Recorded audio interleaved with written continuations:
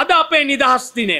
අවුරුදු ගණනාවක් පුර්තුගීසි ලන්දේසි ඉංග්‍රීසි ජාතීන්ට යටවෙලා ඉඳලා ස්වයං පාලන නිදහසක් ලබාගත්තු දවස. මේකෙ සමහර ලේඛනවල තියෙනවා ලේබිඳුවක් හෝ නොසලා ලබාගත්තු නිදහස කියලා. ඒකට නං මට එකඟ වෙන්න බෑ දිලිජ්ජායවීර මැතිතුමනි අපි ලේ හැලුවා. නියම නිදහස සොයා යන තැන ජාතියේ ලේ කඳ නටයි අපට මතකයි සදා කැප්පිටි අපට මතකයි එදා අටසිය දහටයි කැප්පිටි පොලයි. නිදහස ලබා ගන්නට එක්දා සටසිය දහටේ කැප්පිටි පොල අධිකාරමතුමා ඌේ කැරැල්ල සටන ජාතික නිදහස් සටන මෙහෙව්වා. ඒ සටන මෙහෙවනකොට අවුරුදු දහසයට වැඩි එකම පිරිමි ළමයෙක්වත් නොතබා අපව පාලනය කළ අය අපි ඒ වෛරේ තියාගෙන නැහැ බ්‍රිතාන්‍යත් එක්ක බ්‍රිතාන්‍ය ජාතිකයෝ අවුරුදු දාසයට වැඩි සියලු පිරිමි ළමයි ඝාතනය කළා. ආදම් සහ ඒ වගේ උද්‍යානය කියපු ඒ ඌවේ තිබුණු සියලුම විශාල ගස් කැපුවා පළතුරු ගස් කැපුවා. වැව් තවුලු කැපුවා ගොයන් කොළගිනි තිව්වා වී අටු ගෙවල් දොරවල් සම්පූර්ණයෙන් ගිනිබත් කරා. එහෙම අවස්ථාවකදී කැප්පිටිපොල අධිකාරම කලින් සුද්දට පක්ෂපාතව ඉඳලා ඌව කරැල්ල මැඩලන්නට ඌවට යනකොට අසුපිටින් ගැමියෝ එකතු වෙලා ඇහුවා මොකක්ද ඒ කාලේ කියපු වචනට අනුව හාමුදුරුවනේ මේ කරන්න හදන්නේ ලේටලය විරුද්ධ වෙලා කටයුතු කරන්නද හදන්නේ කියලා. කැප්පිටිපොල අධිකාරම අසුපිටින් බැහැලා සුද්දන්ගේ ආවුද ගබඩාවේ වෙඩි බෙහෙත් ගබඩාවේ යතුරු කරැල්ල සුද්දන්ගේ පැත්තට විසි කරලා කිව්වා. කියාපියව් සුදු පාලකයන්ට අද ඉඳම් මමත් මේ විමුක්තිකාමීන්ගේ පැත්තේ ඉන්න කියලා කැරැල්ලට එකතු වුණා. ඒක ජාතික සටහනක් කැරැල්ලක් මේ ජාතික සටනක්. ඊළඟට එක්දස් අටසිය හතලිස් අටේ මාතලේ කැරැල්ල ඇති වුණා.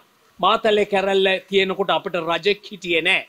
අපට රජෙක් නැති නිසා කැලෑ මාලිගාවේ රාජලේ උරුමේ ඇති කෙනෙක්ව ඔටුනු පලන්දලා සටන මෙහෙව්වා විල්භාවේ කියන කුමාරයාව ඔටුනු පලන්දල සටන මෙහෙව්වා ඒකත් අසාර්ථක වුණා.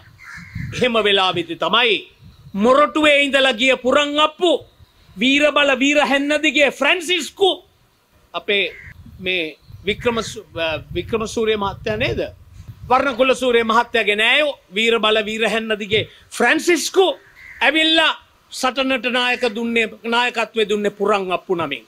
ඒ සටන් මෙහෙවනකොට තමයි පෑලිය ගොඩ ඩේවිඩ් නමින් හිටපු ගොංගාලෙ ගොඩ බණ්ඩ අපේ දකුණු පලාතෙ කරන්දනියට නෑකං කියන ගොංගාලෙ ගොඩ බණ්ඩා ඇවිල්ල නායකත්වය දුන්නේ.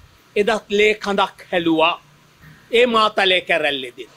ඉන් පස්සෙ කාලා නුරූපව උඩරට ගිවිසුමෙන් පස්සේ අපව යටපත් කරගෙන ඉන්නකොට සුද්දෝ සමහර සිංහල ප්‍රධානීන්ට මුදලි මුහන්දිරන් කන්දීලා දකුණු පලාතෙත් කොළඹත් සුද්දන්ගේ පැත්තට කත් අදින්න පටන් ගත්තා.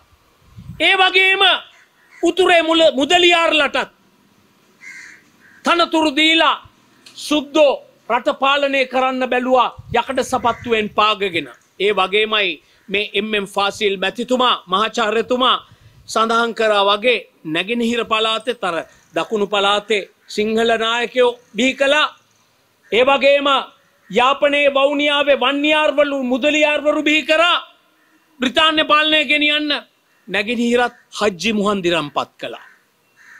හජ්ජි මුහන්දිරම්ගෙත් සහයෝගේ ගන්න හදනකොට එදා මීරා ලෙබ්බෙ වැනි නායකයෝ හජ්ජි මුහන්දිරම්ට විරුද්ධව බලමුළු හදාගෙන කන්දවුටරට රජ්ජුරුවන්ගේ පැත්ත වෙනුවෙන් විශේෂ මුස්ලිම් ඒකක සටන් ඒකක හැදුවේ කාලේ. තමුන්නාන්සේ නම් සඳහන් කරනකොට මගේ ලේ කකියන්න පටන් ගන්නවා කොහොමද ද්‍රවිඩ මුස්ලිම් සිංහල ජනතාව එකතු වෙලා මේ රටේ නිදහස ලබා ගත්තේ කියලා. උතුරු පලාතේ උපන්න යාපනයේ ශ්‍රේෂ්ඨ ද්‍රවිඩ පුත්‍රයන් වෙච්ච. ශ්‍රීමත් පොන්නම්බලම් රාමනාදන් ශ්‍රීමත් පොන්නම්බලම් අරුණාචලම් සහෝදරයෝ දෙන්න. එදා ජාතික සටනේ ඩස්න්න නායක මැත්තුමා සමඟ පෙරමුණ ගත්තා. මුස්ලිම් ජනතාව වෙනුවෙන් දොස්තර එච්චෙස් ඉස්මයිල් ටීබී ජයා මැතිතුමා රාසික් මැතිතුමා මේ අය පෙරමුණ ගත්තා. ඒ වගේම කතෝලිකයන් වෙනුවෙන් මාටිනස් පෙරේරා දේවගැතිය පූජකතුමා පල්ලියක පාදිලි උන්නාන්ස කෙනෙක් මාටිනස් පෙරා මැතිතුමා පූජකතුමා එතුමා ඒ වගේම එංගලන්ත සභාව වෙනුවෙන් ඇංගලිකන් චර්ච්චක වෙනුවෙන් ඊW පෙරේරා මැතිතුමා දිලිත් ජයවීර මැත්තුමයි මමයි උපන්න. ඒවගේ අපේ ජගත් පුෂ්ප කුමාර මැත්තුමත් උපන්න ගාල්ලේ. උනවටුන කෙනෙක් උපන්න කෙනෙක් ඊW පෙරේරා මැතිතුමා. එෆ්ර් සේනනායක මැතිතුමා. අපට නිදහස ඉල්ලලා පෙත්සම සකස් කලා මේ පෙත්සම එංගලන්තට ගෙනියන්න කෙනෙක් හිටිය නෑ. ඊW පෙරේර මැතිතුමා එංගලන්ත සභාවේ නැත්තං ඇංගලිකන් චර්ච් එකේ හිටපු ප්‍රධාන බලකනුවක් එතුම සපත්තු වඩියේ පෙත්සම සඟවාගෙන ගියා. කොළඹ ද්‍රවිඩ ජනතාව වෙනුවෙන් ජේම්ස්ටී රත්නම් මැතිතුමා එතුමගේ බීනා රත්නම් මැතිනිය මේ සියල්ල ක්‍රියාත්මක වුණා මෙන්න මෙහෙමයි නිදහස ලබාගත්තේ. මහාමාන්‍ය ඩSසේන නායක මැතිතුමා මේ අතරින් ප්‍රධානිය වුණා. ඒ වගේම අමධ්‍යප ව්‍යාපාරයව මෙහැපු හික්කඩුවේ සුමංග ශ්‍රී සුමංගල නායක හාමුදුරුවෝ ඒ වගේම ධර්මපාලතුමා ගෙනිච්ච අමධ්‍යප ව්‍යාපාරය තමයි හාපිටි ගම් කෝරලේ අමධ්‍ය ව්‍යාපාරය හැටියට ඩSෙන් නායක එෆර් සේනායක මැත්තුමන්ලගේ පියා ඩොන් ස්පේට සේනානායක මැත්තුමාගේ නායකත්තෙන් වියහියදමෙන් වැඩ ටික පටන් ගත්තේ. ඒක තමයි ජාතික සටන් ව්‍යාපාරයට පෙරලුනේ. එහෙමනම් මේ නිදහස දිනා ගන්නකොට සිංහල නායකයෝ ද්‍රවිඩ නායකයෝ මුස්ලිම් නායකයෝ මැලේ නායකයෝ බර්ගර් නායකයෝ කතෝලික ක්‍රිස්තියාන් විවිධ කොටස් මේකට දායක වුණා. ඒ සියලු දෙනා සමරණ එකයි අපි කරන්න.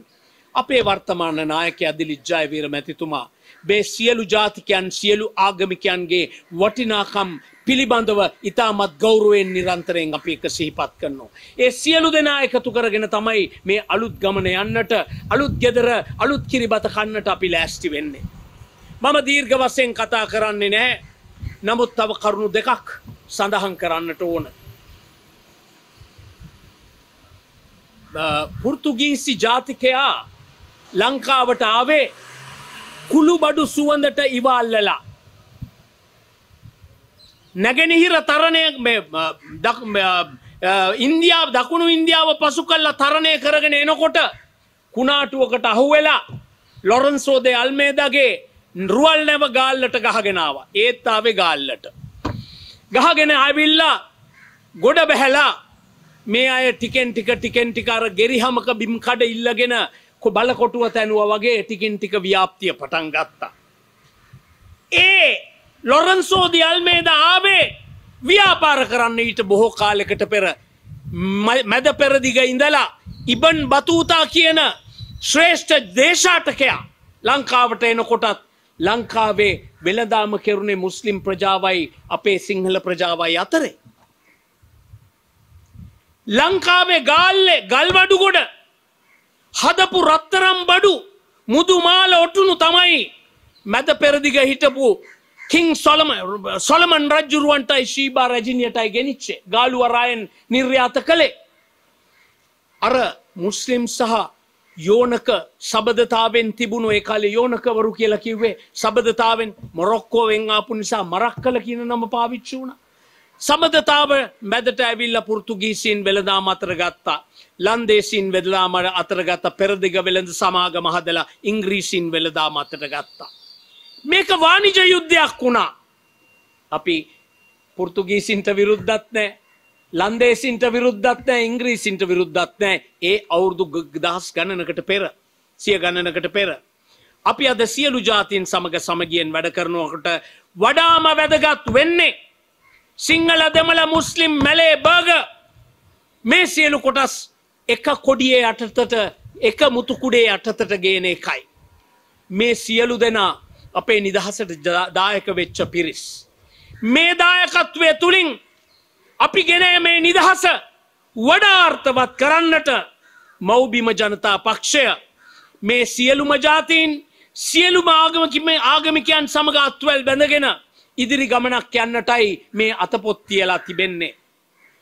මිත්‍රවරුණි නිදහස් දවසේ අපේ පක්ෂ මූලස්ථානයේ භූමියේ ඉතා චම් එහෙත් අභිමානවත් මේ උත්සවේදී අපි සපත වෙනවා මේ රට රැකගන්නට දිලිජ්ජායිවීර මැත්තුමාගේ නායකත්වෙන් සියලු ජනතාව සියලුම ආගමිකයන් සියලුම ජාතිකයන් ඒක රාශී කරගෙන මේ රට යළිත් ජනතාවට සතුටෙන් ජීවත්විය හැකි නිවී සැනසිල්ලේ ජීවත්විය හැකි රටක් බවට පරිවර්තනය කරන්න.